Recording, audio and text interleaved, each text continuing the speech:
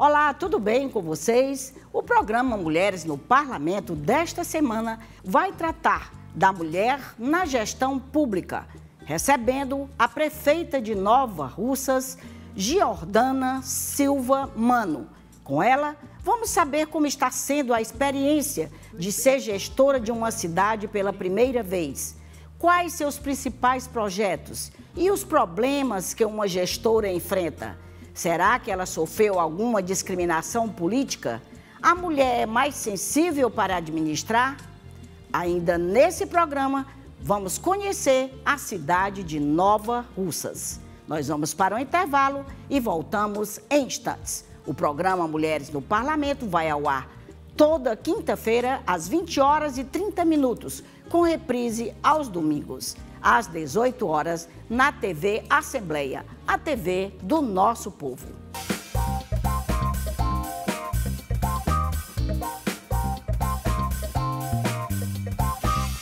Agora você vai conhecer um pouco da cidade de Nova Russas.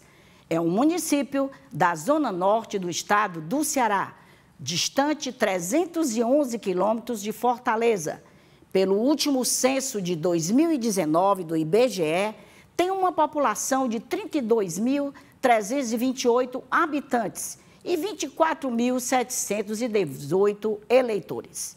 Sua economia gira em torno da agropecuária e do artesanato. É conhecida como a capital do crochê.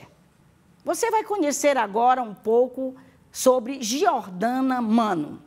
Ela é filha do agricultor e pecuarista Raimundo Rufino e da comerciante e enfermeira Maria Eurimar. Nasceu em Fortaleza e passou sua infância em Jaguaruana. É formada em Direito e pós-graduada em Direito Público. Trabalhou na Procuradoria Municipal de Fortaleza, na Secretaria Regional 2 e na Secretaria de Saúde do Estado do Ceará. Advogada, empresária, ela é esposa do atual deputado federal Júnior Mano. Tem uma filha de um ano, Maria Luísa Mano. Jordana carrega no coração o desejo de fazer parte da história de crescimento e desenvolvimento de Nova Russas. Em 2019, foi condecorada com o título de cidadã nova russense e, em 2020, eleita prefeita de Nova Russas. Olá, prefeita, muito obrigada pela sua presença aqui conosco, nos estúdios da TV Assembleia. Eu tenho certeza que são muitas as suas atividades, suas atribuições, né? Como mulher, como mãe, como gestora de uma cidade. Então, já começo agradecendo a sua participação. Nós temos esse programa aqui há 10 anos, voltado exclusivamente para dar vez e voz à mulher. Seja bem-vinda. Muito obrigada, Silvana. Queria, desde já, lhe parabenizar né, por essa porta aberta da gente estar podendo mostrar o nosso trabalho. Queria saudar aqui, é, em nome da Prece Mulher, todas as mulheres prefeitas aqui do nosso estado. Um grande abraço e de compartilhar né, um pouquinho da nossa experiência e aqui abrir também esse leque para as 34 mulheres prefeitas que o Ceará tem. E hoje também a nossa governadora Isolda. Isolda, né? Isolda exato. Sela, estamos nos fortalecendo, estamos não é? Estamos nos fortalecendo cada vez mais, as mulheres ocupando cargos é. de gestão e a gente podendo mostrar a nossa força, a nossa capacidade, né, que é muito importante. E depois lá na frente eu tenho uma perguntinha meio capciosa que algumas mulheres não vão gostar, mas eu vou fazer, ok? Tá certo. Então, Jordana, eu queria saber como é que tem sido essa sua experiência, né, de já iniciar a vida política como prefeita, né? É uma experiência assim. É, você entrou de chapa na história, inclusive estou sabendo que você trabalhou a campanha toda grávida, né? E isso tudo foi, foi muito difícil para você como mulher, né? E ao mesmo tempo deve ter lhe impulsionado. Eu queria que você dissesse um pouco como é que tem sido essa sua experiência de ser gestora pela primeira vez. É, eu encaro muito a política como uma missão, né? Nós precisamos encarar com muita seriedade esse é. cargo que nos foi é, dado a oportunidade pela população. Uhum. É, Para quem não sabe, eu eu fiz a campanha toda grávida, uhum. né? Fui até as 41 semanas de gestação. E é. graças a Deus, uma, uma gestação abençoada, uma é. gestação de muita saúde, que eu tive a condição, mesmo em pandemia, uhum. né? De, de ir visitar a população, porque a política do interior, ela é diferenciada, a, a população, ela cobra a nossa presença, Isso, é. o nosso pedido de voto. E aí, três dias antes da eleição, que a eleição foi adiada para novembro, né? A última de prefeito, uhum. é, eu tive a minha primeira filha, a Maria Luísa. Uhum. E foi assim, eu, eu acredito que sirva também muito de exemplo para outras mulheres, para que a gente possa entender que a gravidez, o estado de ser mãe, ela não nos impede a não nada. Não nos impede. Né? Pois é, é aquele velho ditado que a mulher vai aonde ela quiser. Né? Vai né? aonde faz o que quer e ocupa qualquer cargo. Uhum. Né? Então, é, eu, eu passei a minha, minha campanha toda grávida, não tive resguardo praticamente, é. porque assumi em janeiro. E assim, está sendo uma experiência, uma experiência engrandecedora. Uhum. Você ser gestora de um município, principalmente um município pós-pandemia, que a pobreza aumentou, o desemprego aumentou, Isso. é nós termos a responsabilidade de fazer mais por quem precisa. Principalmente quando não se é filho da cidade, como é o seu caso, né? eu acho que essa responsabilidade aí ela é redobrada. Isso. É, foi uma das, das minhas assim, dos meus desafios, de fazer com que a população acreditasse, embora eu seja casada né, com um filho novarrucense, que é o, o deputado federal Júnior Mano, uhum. ele é filho de Nova Russas, ah. mas eu sou cidadã novarrucense. É, eu já vi isso no seu perfil, né? É, e assim, a população, ela me abraçou. Nova Russas é uma cidade muito acolhedora. Você é a primeira mulher prefeita? Não, eu sou a segunda mulher prefeita, mas a última mulher prefeita foi há quase 20 anos. Uhum. Então, a, a, é uma experiência nova para grande parte da população de Nova Russas, né? Você chegou a, a sentir assim, alguma discriminação? Porque eu já ouvi um depoimento de várias prefeitas. Essa mulher, essa mulher não tem condição de assumir o, o município, de gerir o município.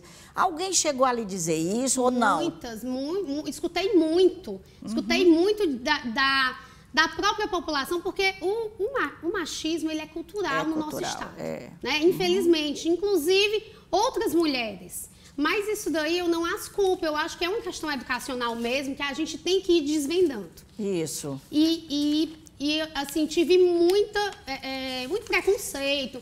Primeiro, por não ser de lá, depois por ser mulher, e aí as pessoas Com não certeza acreditam. me chamaram de forasteira. Com, ah, esse daí a foi oposição. um dos títulos, a oposição, né? É. Mas ela não conseguiu é, me, me, me nomear de forasteira mesmo, porque a população ela não comprou esse Essa, título. Esse título. Né? Mesmo a gente porque você é vinha... é casada com um filho Sim, também. Sim, a gente já vinha fazendo um trabalho muito grande. Meu esposo já foi vice-prefeito de Nova Russas. Eu, eu tinha um trabalho prestado também em Nova Russas. Uhum. Então, assim, eu, eu fui muito mais abraçada do que discriminada. Mas não posso esconder que houve sim. Uhum. Houve a questão de acharem que eu não iria governar que quem iria governar seria o meu esposo, ou seria é, tios, enfim. Uhum. A, a, no final, a, uma pequena parcela, uhum. ela cria essa versão de que a mulher ela não tem essa condição de governar. É. Né? E aí, graças a Deus, eu estou conseguindo mostrar o contrário. É. Um dos, dos preconceitos também foi por eu estar grávida. Então, todo mundo achava que ela não vai deixar o de filho. ter um resguardo, de, de deixar o filho, de, de criar filha para assumir o município. É. Eu né? vi recentemente uma prefeita de uma cidade aqui do Brasil que montou no gabinete dela uma, um quarto para a criança eu, eu para assistir a criança. Saí diversas vezes de reuniões para ir para dentro de um carro amamentar minha filha. É. Porque eu amamentei a minha filha até os sete meses. Mas assim, realmente a gente precisa de uma rede de apoio é. para que a gente possa ocupar todas as funções. Porque Isso. ao ser prefeita, eu não deixo de ser mãe, de ser esposa, né, de, de ter outras funções também. Isso. Mas é, a população tem reconhecido nosso trabalho. Eu sou uma prefeita muito presente, eu gosto de fazer a entrega dos nossos benefícios, eu gosto de visitar a população, eu gosto de visitar obras, eu gosto de estar dentro das secretarias. E isso daí tem trazido uma política diferente para o nosso município. Uhum. Mas é, já, já fui na campanha eu lembro que eu fui visitar um senhor no distrito e ele disse assim: eu votei no seu marido, mas em você eu não voto porque você é mulher. e aí a gente vai des tentar desconstruir é. isso daí. Mas assim, eu, eu acho que com o exemplo, com o trabalho, é. nós vamos desmistificando. Des... É, com certeza. Eu acredito conceito. que já mudou muito, né? É, dos últimos 20 anos para cá, isso já vem mudando. É tanto que nós alcançamos agora um percentual que não é o satisfatório, porque dos 184 é, municípios, né? Nós só temos 34 prefeitos, é, é, pouquíssimo, né? No Brasil todo, nós temos 12% é, exato. Né, de mulheres, de mulheres ocupando, ocupando cargos, no, executivo. no executivo. E no legislativo também não é muita coisa, é mais é. ou menos entre 12 a 15. E, e engraçado, é, na no, no, no, número de, de eleitoras e de população, nós somos Nós somos a maioria, que eu vou comentar já já isso aí com você. Agora, como mulher, você se preocupou em, em criar projetos, ações voltadas para as mulheres? Sim, é, em todas as áreas da minha, da minha, secretaria, eu tinha que fazer o diferencial de é. por que uma gestora mulher, qual é a nossa visão, o que, é que a gente traz para a população, né? Isso. Ainda mais por ter uma experiência muito mais forte de, de ser filha, de é. ser mãe, né, de ser esposa, de saber das dificuldades que a gente, é, do aumento da violência numa pandemia. Uhum. Né? Então, o uhum. meu CREAS, ele, ele tra trabalha muito forte nessas campanhas, nos acolhimentos. Nós temos um programa em Nova Você tem um CREAS, que eu gostaria que você dissesse o que é CREAS, tá. e tem CRAS também. Nós temos o CREAS e o CRAS. Eles são é, equipamentos. parcelas, né, equipamentos da Secretaria de Assistência Social. Uhum. O CRAS, ele atende de, de, é a nossa população como um todo, crianças, adultos e idosos, uhum. né, na assistência social. E o CREAS, a gente já faz a política de proteção. Proteção também à mulher, à criança, ao idoso. Isso. Então, são políticas diversificadas, mas que acolhem a nossa população mais carente. Então, uhum. no CREAS, a gente trabalha muito essa política de fortalecimento da mulher, da, da mãe solo, né? Uhum. Porque hoje há um abandono muito grande é. da, das mulheres que ficam com seus filhos e elas que têm que ser provedoras das, das suas casas. Uhum. Então, lá em Nova Rússia, nós temos um programa que é o Capacita Nova Rússia, que a gente leva cursos de capacitação. Uhum. E dentre esses cursos, uma turma sempre tem que ser voltada às mulheres acompanhadas pelo CREAS. Para que a gente possa dar independência financeira para uhum. essas mulheres. É. Na parte da saúde, uhum. nós fizemos um multirão de inserção de DIL, né, que no, no, no SUS há o, a distribuição do DIL, mas, mas é muito é um custo muito alto de se colocar. E eu, como prefeita mulher, a gente sabe que, que nem todas as mulheres tomam o seu anticoncepcional. É. Tem que haver uma política educativa para isso. isso. E aí nós fizemos aí um multirão de uhum. inserção de DIU para que a gente possa resguardar até adolescentes também que iniciaram Isso. uma vida sexual muito nova e já são mães, para que elas possam continuar estudando, trabalhando. Então a gente faz aí a inserção de DIU em quem tem interesse, né? Uhum. Mulheres que não podem tomar anticoncepcional, por problemas de saúde. E aí a gente vai ampliando também, são políticas voltadas para as mulheres do nosso, do nosso município, o fortalecimento também na agricultura. Nova Russas é um município que tem sua renda voltada para a agricultura e a agropecuária, e aí a gente também tem programas voltados para a mulher agricultora. E aí são diversas pastas que a gente vem trabalhando.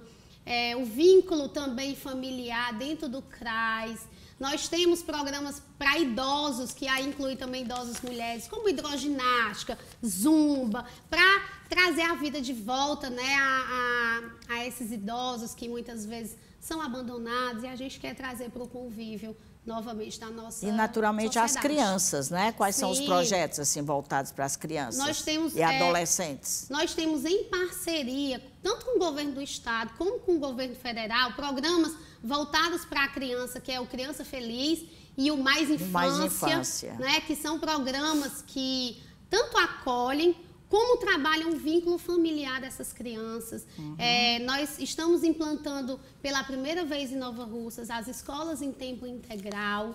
né, que dá a oportunidade não só do estudo, mas também da alimentação no colégio. E aí a gente, numa pandemia, numa pós-pandemia dessa, de, que, que, gerou muita pobreza, a gente Isso. precisa garantir a nutrição das nossas crianças. Uhum. Né? Criamos também um programa de inclusão às crianças com necessidades especiais, que inclusive é, são destaque no município. É um, um, um programa voltado exclusivamente para crianças com necessidades especiais, onde a gente faz uma intersetorialidade das secretarias. Então, toda secretaria ela tem que apresentar um programa de inclusão dessas crianças, além de terapias, né, de momentos lúdicos que a gente vai envolver essas crianças, além de o apoio psicológico aos pais, que é muito importante, né?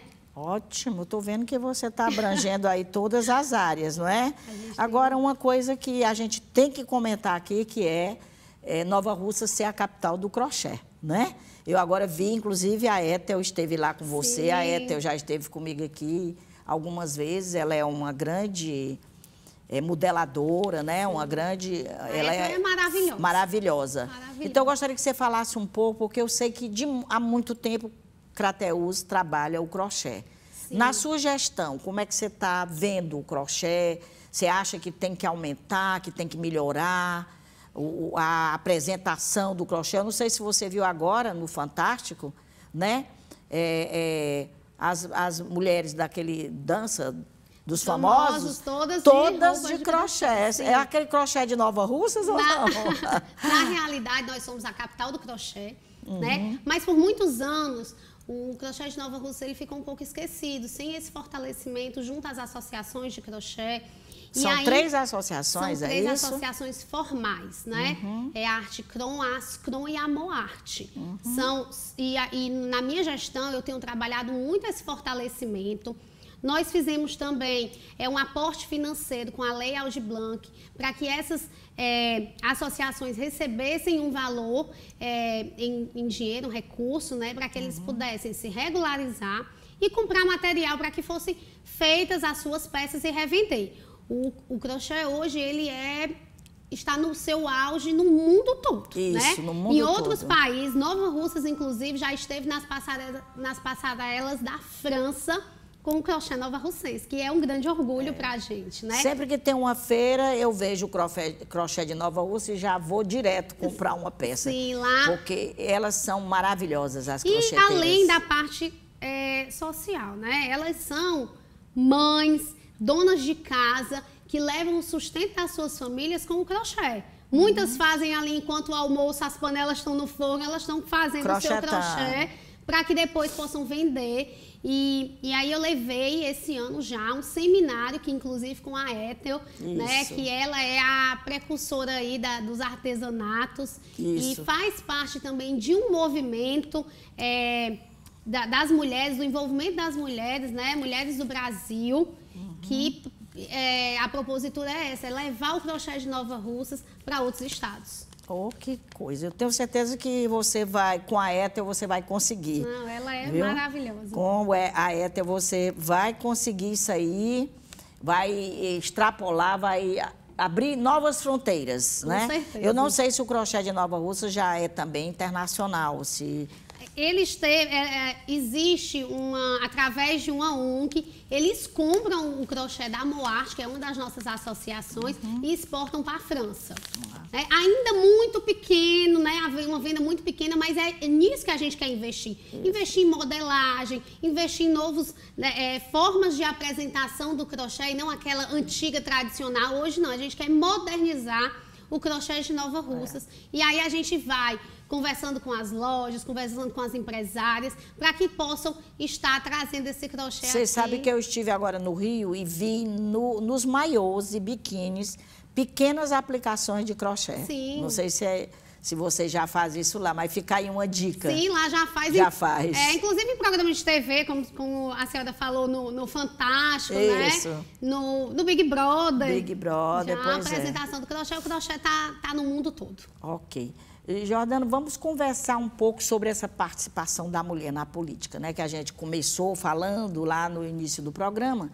e que é sempre uma preocupação nossa aqui, quando a gente traz uma convidada, que a gente acha que ainda é muito pouco, e também nós estamos vendo, estamos vendo que está aumentando um pouco, mas que está havendo violência política contra a mulher.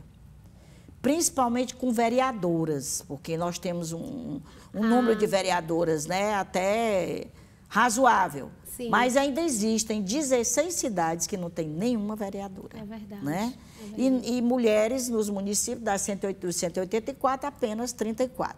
Então, Jordana, o que, que você acha que pode ser feito né, para encorajar essas mulheres? É, a palavra é essa, é encorajar. É... Porque não é fácil. Falta coragem. Não é fácil a gente abdicar um pouquinho de cada coisa da, das nossas funções, que é como eu disse. É. O fato de eu ser prefeita é, não, me, não me tira a função de ser mãe.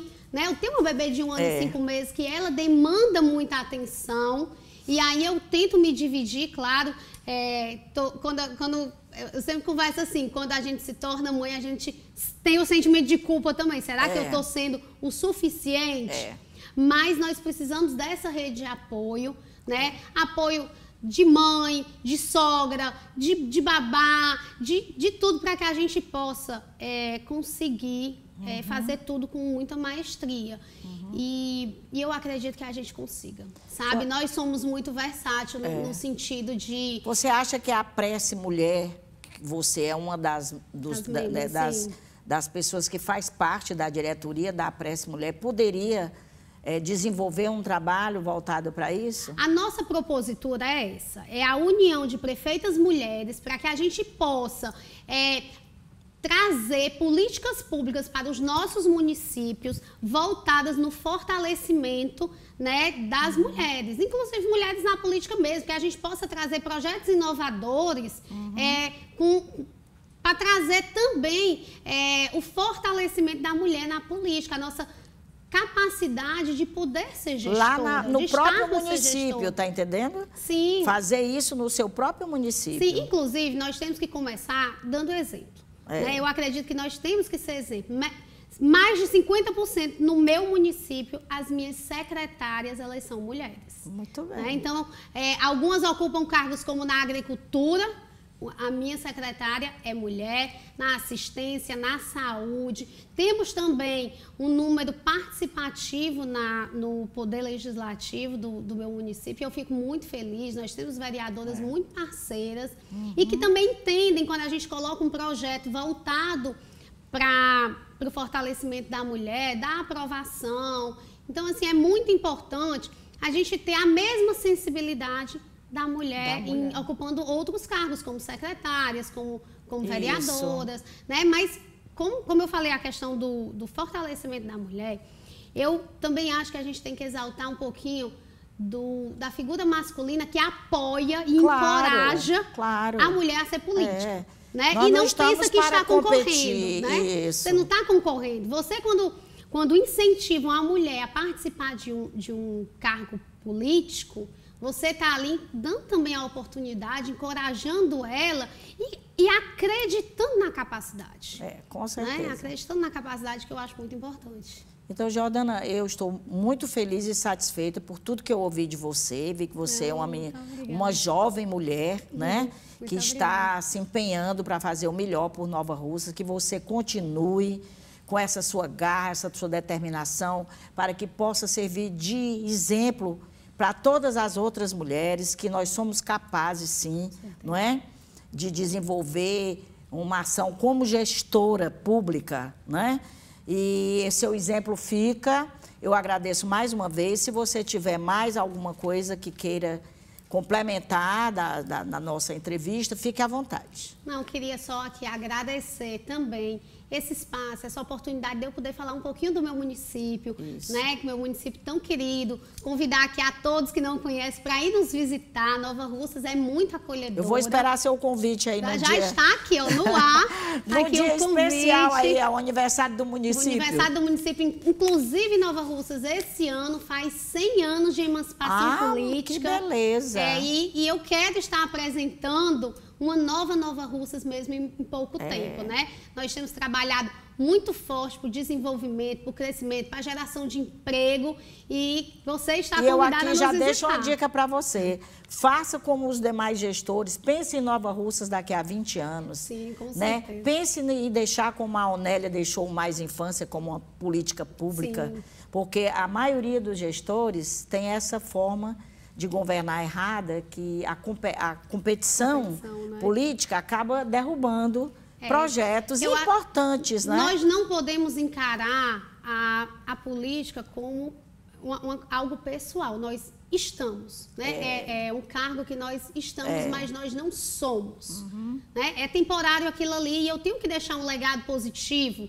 porque tudo que eu fizer na política não vai ser contra o meu adversário, pelo contrário, vai ser para a minha população. Isso. Né? E, e, mais um motivo, eu que sou mãe, eu quero deixar um legado muito positivo para minha filha, para ela olhar e dizer assim, olha, a minha mãe trabalhou muito a minha mãe fez isso né, por outras pessoas. Eu acho que é no exemplo que a gente vai criando os nossos vai criando filhos. No... E, e, construindo a história. E construindo né? a história. Você está construindo a sua história. Com certeza. Então, parabéns, muito obrigada. Muito obrigada, parabéns pelo programa, muito obrigada pela oportunidade. Nós vamos para um intervalo e voltamos em instantes. Você sabe identificar a violência contra a mulher na política? Quando uma parlamentar não está segura nem mesmo no plenário. Quando o apoio do partido nunca vem. Quando somos julgadas e atacadas pela nossa imagem. Chega, é hora de ocupar o nosso lugar. Mais mulheres na política sem violência de gênero. A gente pode, o Brasil precisa. O Brasil é um país continental são 8 milhões 510 mil quilômetros quadrados de área. Quase 8 mil quilômetros só de litoral. 26 estados e o Distrito Federal. 5.570 municípios com mais de 213 milhões de habitantes. E só 1 milhão 563 mil quilômetros de estradas. Por isso, a urna eletrônica, simples, segura e rápida, é a estrada da democracia num país de 8 milhões 510 mil quilômetros quadrados e só 1 milhão 563 mil quilômetros de estradas. A urna eletrônica é o caminho e a democracia é a estrada. Estamos de volta com o quadro que elas fazem no parlamento.